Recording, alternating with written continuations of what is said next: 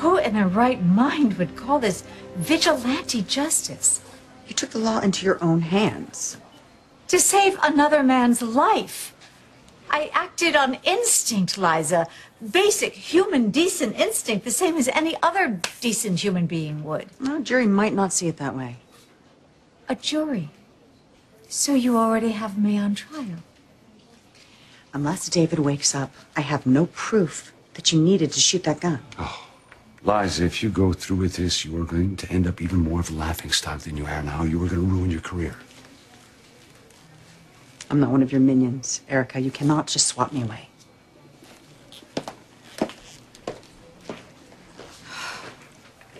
Look, don't let her get to you. Oh. She's just trying to soften you up so that if she does bring charges, you'll roll over and take a plea deal. You know, when Greenlee and Ryan called us and told us that they had evidence that would clear her, I just imagined that this would all be in the past, all our troubles behind us. I know, I know. We thought we were going to leave the courtroom after Greenlee's trial and go get our marriage license, didn't we? Now we can't even can't even focus on our wedding at all. you know, maybe we should. I don't want to postpone it. I want this to all go away. Okay. Then let's go see Caleb. Let's discuss our options. All right. But just not right at this minute because I just have to clear my head. Okay. Care to tell me where you're headed to? Ah, Someplace peaceful. Someplace where I can just concentrate on how very, very beautiful our wedding is going to be.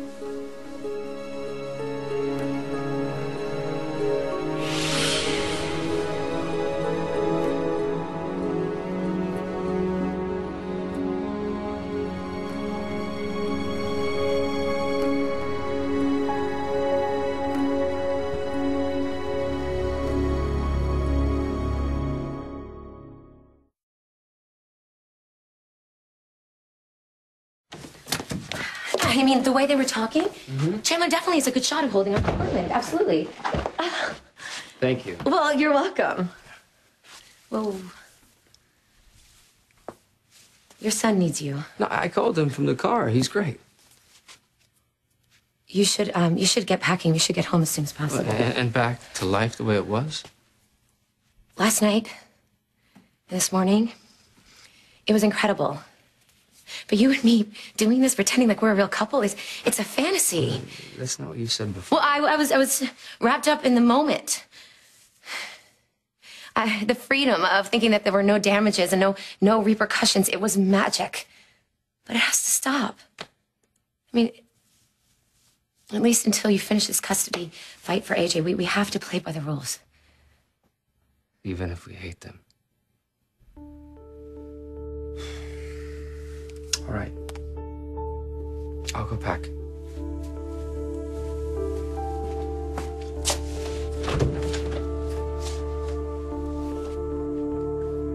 What's wrong? Everything. Leaving like this, it's giving up.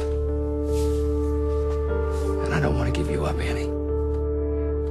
Of course, JR is with Annie. I mean, he pretends like there's nothing going on between them because he thinks it'll help him get custody of AJ. It's not gonna happen. He says they went there on business. An obvious cover. Yeah. I can't believe he took her to Washington, D.C. You know, that's where they were when JR first cheated on me. And you're surprised that he has no shame. When I first met him, he was so different. He was this complete other person. I mean, he was gentle, thoughtful, caring.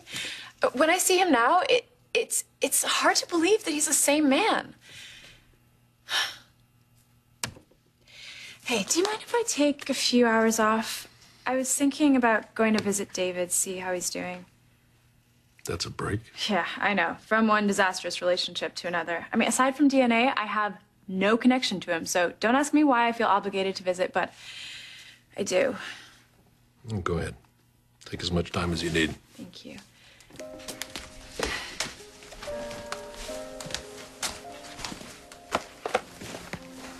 Hey, you know, I've been let down by a lot of men in my life. But not all of them.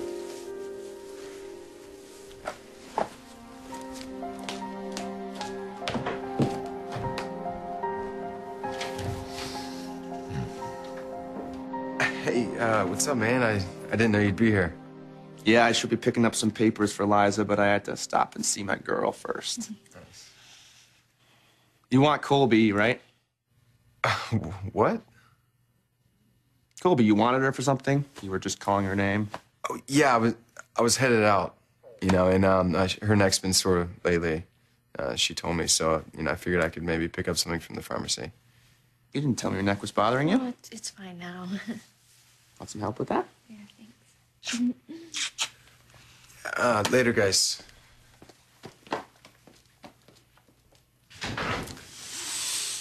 You know what I'd like to do to Damon, that I don't want to talk about Asher, okay? All right? I just. I want to talk about us.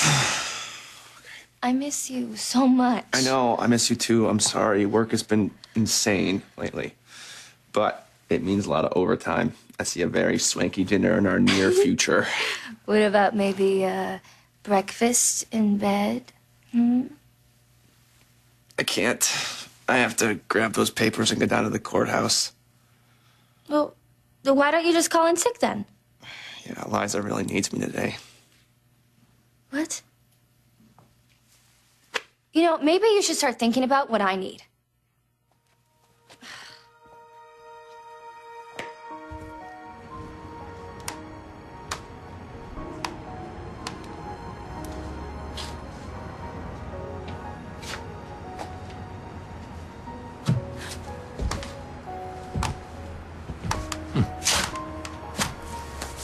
Hey, Dorothy. What are you doing here? I just came to say goodbye.